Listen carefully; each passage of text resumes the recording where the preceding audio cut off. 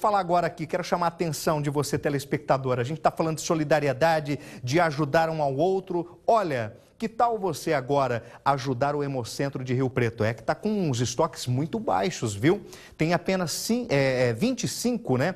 É, 25% de sua capacidade e está precisando de, de, doadores urgentemente. Então, se você, o senhor, a senhora, é, é, é doador ou ainda não doou sangue, mas pretende se tornar um doador, vá até o Hemocentro aqui de São José do Rio Preto, que fica aberto das 7 da manhã até a 1 da tarde. Viu o endereço? O endereço é muito fácil, fica na Avenida Jamil Feres Kifuri, número 80, no Jardim Panorama. Robson, não sei onde fica. Fica atrás do hospital de base daqui da cidade, tá ok? Saiba de uma coisa, tem muita gente precisando de doação de sangue e o Hemocentro não tem estoque suficiente, gente. Então, quem puder, por favor, compareça lá e doe. Este ano eu já fiz a minha parte, mas ainda até agora o final do ano eu vou doar novamente. Eu, eu me sinto bem, faz bem para o coração, faz bem para a alma, né? Salvar vidas.